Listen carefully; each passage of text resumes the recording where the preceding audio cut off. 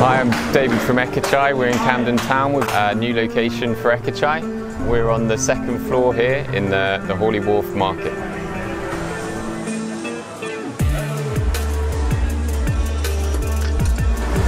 So for halal options here, we've got um, all of the chicken we serve is halal and uh, we cook everything separately.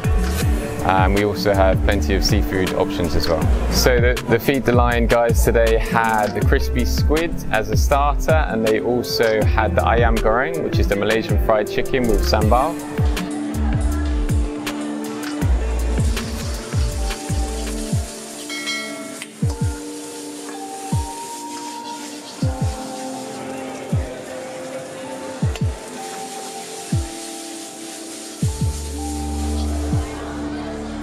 And for mains, they had uh, from the, the wok fried noodle section, they had Malaysian classic, which is a prawn char kway teow.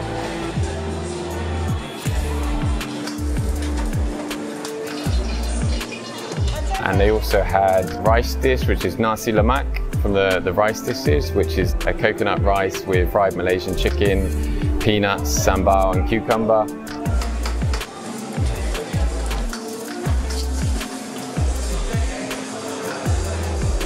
Uh, they also had curry chicken laksa, which is exclusive here to Hawley Wharf in Camden.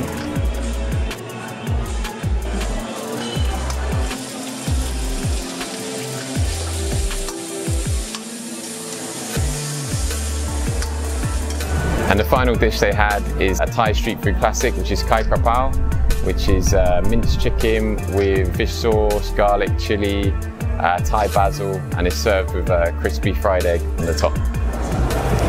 Hope you like what you've seen today. Um, we're at Ekachai here in Hawley Wharf. Remember on level two, the food hall, we serve authentic Thai and Malaysian food.